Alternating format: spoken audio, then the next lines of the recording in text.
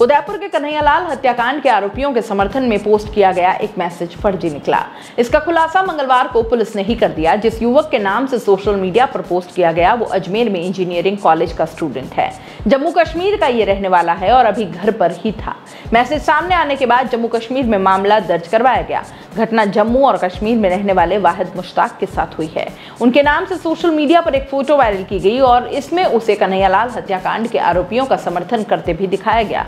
Photo सामने आने के बाद अजमेर के आदर्श नगर थाना पुलिस ने वाहिद के खिलाफ मामला दर्ज किया। जाँच के लिए विशेष टीम का गठन किया गया। पुलिस ने बताया कि सोशल मीडिया पर वायरल मैसेज के संबंध में जाँच की गई। वाहिद के कॉलेज प्रशासन के बयान दर्ज किए गए, जिन्होंने अपने बयानों में बताया कि वाहिद हमारे कॉलेज में तीसरे ईयर का छात्र है, जो कॉलेज से 20 मई 2022 को परीक्षा समाप्त होने के बाद अपने गाँव कुलगांद यानी जम्मू कश्मीर गया हुआ है। कॉलेज प्रशासन ने बताया कि हम लोगों को भी सोशल मीडिया पर कन्हैया लाल के डाले गए मैसेज की जानकारी प्राप्त हुई तो वाहिद मुश्ताक से मोबाइल फ़ोन पर बात की। उसने बताया कि उसे बदनाम करने की नीयत से किसी ने गलत पोस्ट सोशल मीडिया पर वायरल की है।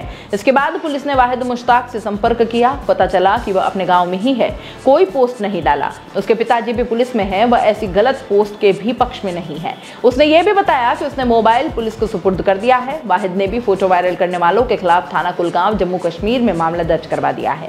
आरोपियों को सख्त से सख्त सजा मिलनी चाहिए। पुलिस ने इंजीनियरिंग कॉलेज के स्टाफ एवं सूत्रों से मिली जानकारी के अनुसार छात्र वाहिद का व्यवहार एवं चरित्र अच्छा होना पाया है। वायरल हो रहे मैसेज को लेकर पुलिस जाँच में जुटी हुई है। वहीं छात्र की ओर से दर्ज मामले में भी जम्मू कश्मीर पुलिस की जाँच जारी है। दोस्तों सीबीसी न्यूज़ आपके सहयोग से लगातार बढ़ता जा रहा है। स्वतंत्र पत्रकारिता का सहयोग करने के लिए आपका धन्यवाद। सबसे पहले तो जिन लोगों ने हमारे चैनल को सब्सक्राइब नहीं किया है तो पहले सब्सक्राइब करें, जिसका कोई शुल्क नहीं लगता और बड़ा आसान है। बस नीचे दिख रहे लाल सब्सक्राइब के बटन को दबाना है और पास में दिख रहे बेल आइकन को भी दबाना है, ताकि आपको अपने सीबीसी न्यूज़ के हर अपडेट्स मिल सके।